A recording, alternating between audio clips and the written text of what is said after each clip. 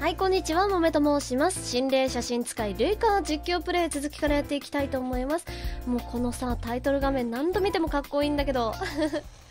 ということで前回、えー、双子のやはるちゃん、ゆはるちゃんを成仏させることができたので、次は多分3回、あ、そうだそうだそうだそうだ。あ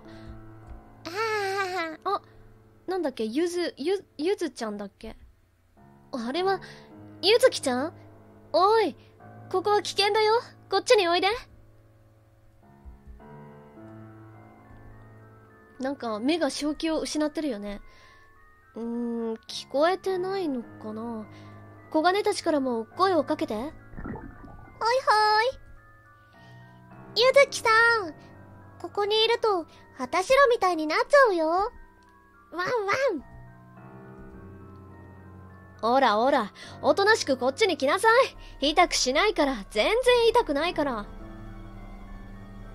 え、無視された。あれ？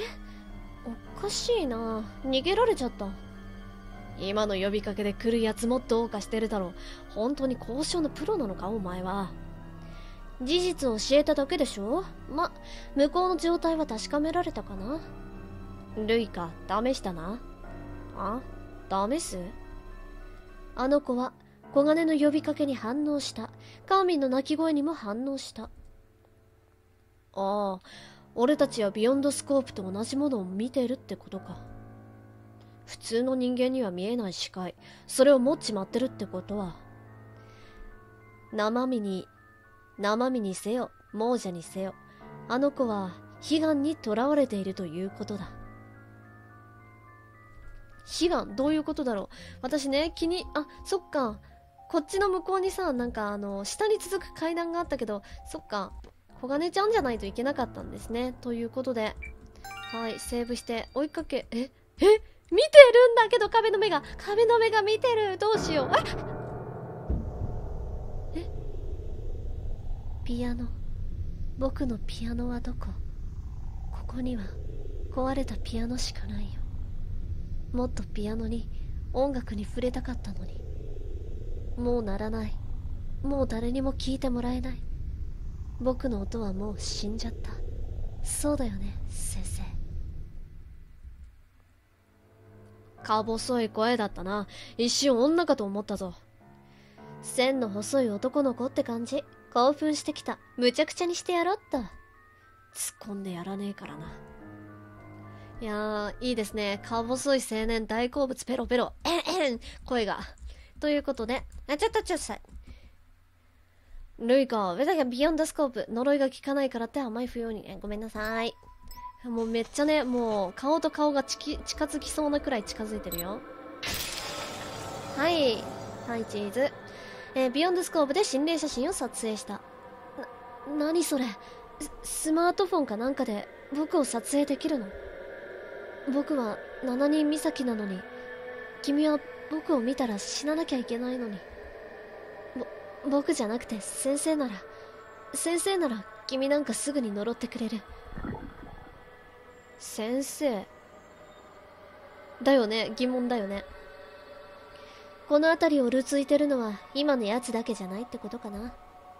だとしたら捜査を始める前にそいつの写真も撮った方がいいな。二人いるんだったら二人とも把握しないと混同して交渉できるものもできなくなるだろどこだ？どこにいる？諦めて代わりになってくれ。先生様のお出ましかな？あ小腹が減ったな。なんか腹の足しになるもんでもないかな。ああルイカだった。俺が生きてたらこんな場所で見つかったものは絶対食わないな。ふん根性なしね。そんなんだから死んだのよ。俺は飢え死にしたわけじゃねえよ。根性なしは認めるけどな。あっちになんか光ってるもんがあるね。じゃあ、取りに行きましょう。よいしょ。えこのフロアはまだ撮影してない七人岬がいる。この先の調査はま、えー、前、調査の前に、まずは撮影からね。じゃあこっち側かな。とりあえず、セーブしてと。ああ、また上書きしちゃった。こっちだね、明らかに。え鍵盤かい？チョークか 鍵盤飛ばしたら怒ったよね。今の、何？チョーク？お前にぶつからないってことは、えー、七年岬だからの、かんだ。七年岬からの干渉か。廊下を走るな。廊下を走る生徒は、廊下を走る生徒は指導が必要だ。廊下を走る生徒はルールを破る者は呪われる。時代相互な先生がいるみたいね。今時廊下を走ったぐらいで体罰だってさ。懐かしいな。えー、なんだ？なんとの軍隊たちを思い出すぞ。共感できねえよ、アイセ。ジェネレーションギャップが大きすぎるぞ。暴力教師は良くないね。教育委員会に報告する？その必要はないかな。私が再教育するから。言葉の暴力も良くないぞ。はい。面白いね、このみんなの会話が。めっちゃ見てるんだけど。めっちゃ見てるね。いるね。はい。えー、っと、ビヨンドスコープを起動してと。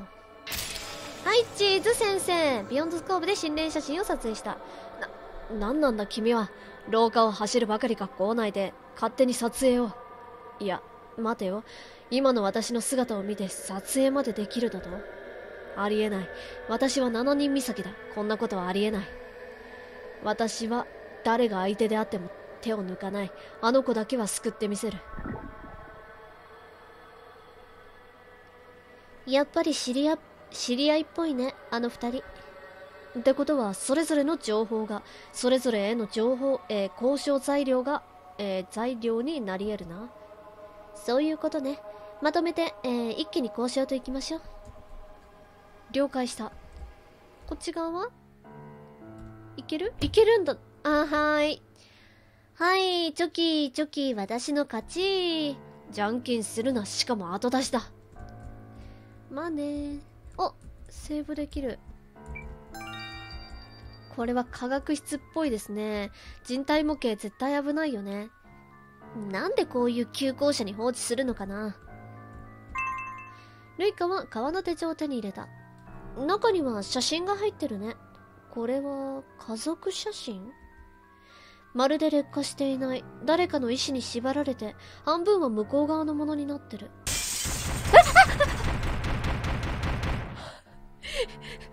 今、走るの忘れてたけど逃げれたよ、よ、よかった。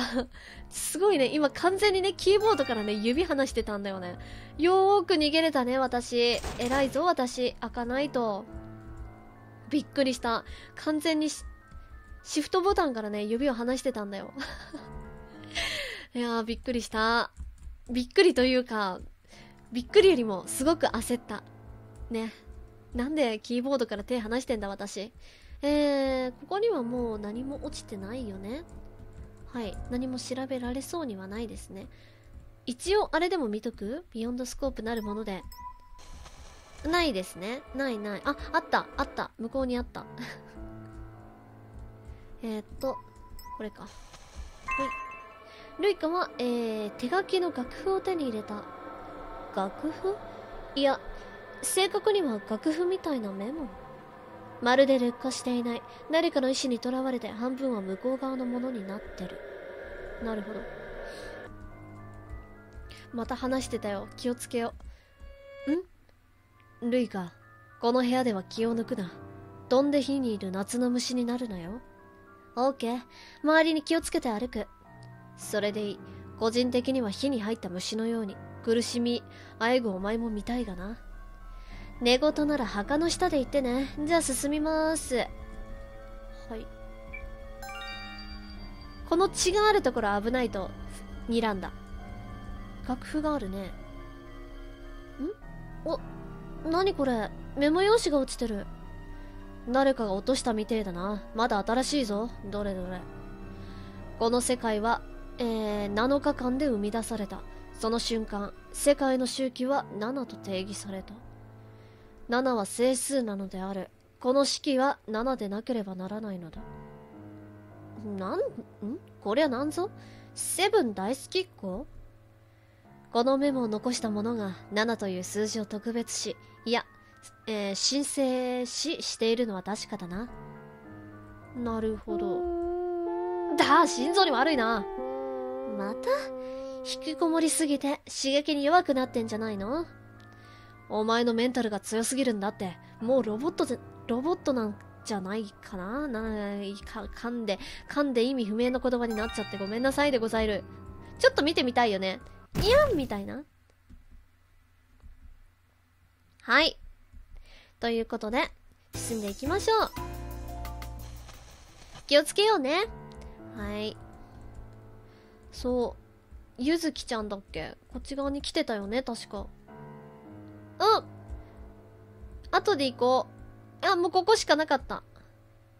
あ、セーブがある。はい。一応棚とかも見て、見てみる？戸棚の中は空っぽと。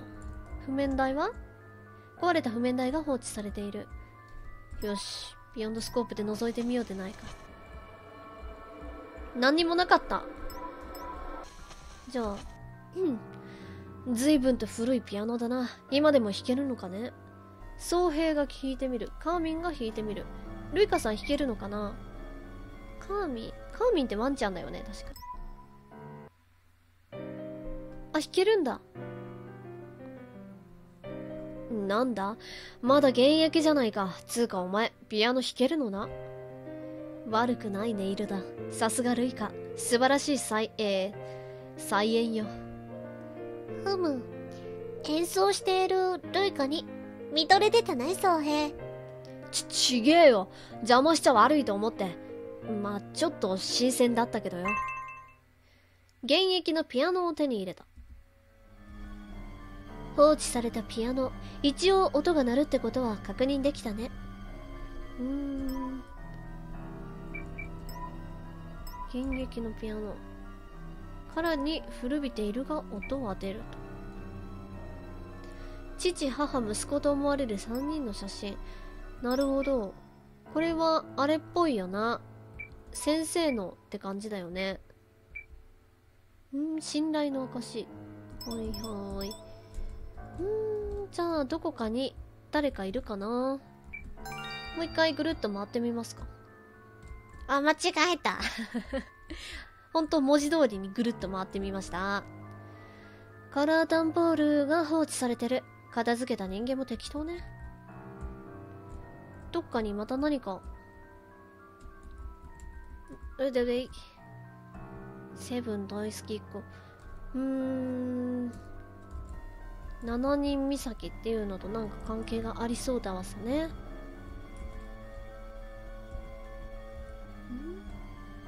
どこにもいないな。あおっと？何？これ？関係ないか。関係なかった。ここに来たらでもね音楽が止まるんだよ。なんだろう？上はいけないんだよね。はい、フロアだよね。じゃあ今度こっち側か。もうちょっとビヨンドスコープで調べろってことかな。うーん、見られてる気がする。えー、呪いそのものは効かなくても視線ぐらいは感じたりするんだな。私だって不気味なものには、えー、不気味と言いますが、何か？そりゃ湿気。不気味だね。不気味すぎるよ。ちょっと、ビヨンドスコープで覗いてみる何かある？いや、何もないよな。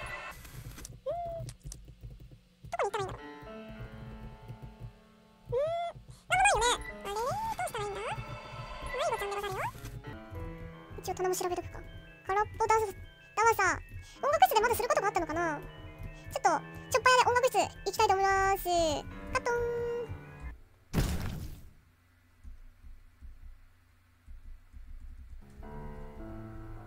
ふっ私思ったんだけど、あれじゃないか？えー、っと、愛生、愛生じゃない、総平に調べてもらうんじゃないか？はい。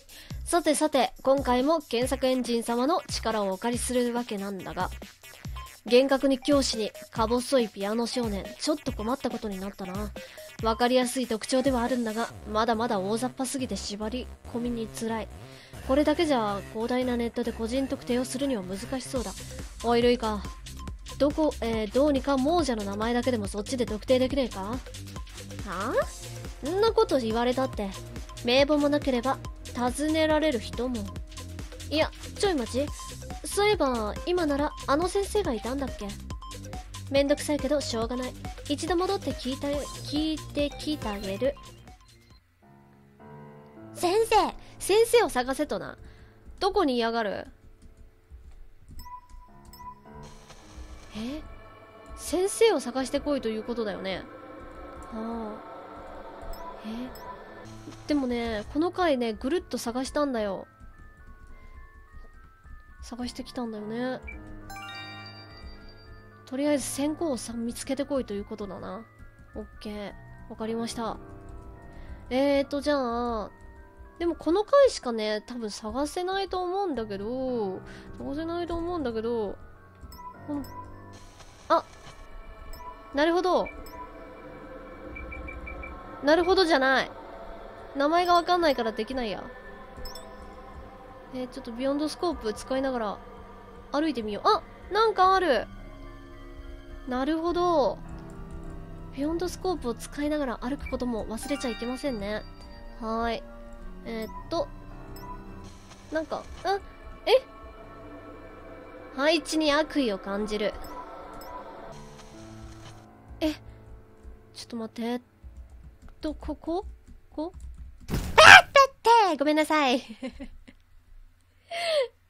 いやいやほんとね、びっくりしたね。どうやって撮ったらいいんだろう。うん。あ、ここにもなんかあるやん。あるやんって えー、手書きの楽譜を手に入れた。楽譜？いや、しょ、えー、正確には楽譜みたいなメモ。まるで作曲でもしてるみたいね。ずいぶん筆が乗ってるように見えるけど。あっちのメモ欲しいんだけど。あ、わかったあれか。小金ちゃんだ小金ちゃん。行きなさい私の可愛い小金ちゃん。えーと、これですね。ほいや小金は手書きの楽譜を手に入れた。あれ？この楽譜、私でも触れられるぞ。こういう知見がもっと多ければ、私のお給料もアップしそうなんだけどな。いくつか手書きの楽譜が集まったわけだけど、なるほどね。これは交渉材料になるかも。どういうこと？これは何者かが書いた作曲メモみたい。しかもただの紙じゃなくて呪いの影響を受けてる。つまり生前の作曲者にとって、この数々、紙方が数々のメモは大きな意味を持つものだってこと。だったってこと。なるほど。確かに交渉で使えそうだな。ルイカは手書きの楽譜を作曲メモとしてまとめ直したと。ということで、じゃあ、戻りましょうかね。はい。あとは先生をね、せ、先生を、もう音楽室戻ってるかな一応、このビヨンドスコープを使いながら歩いてみよう。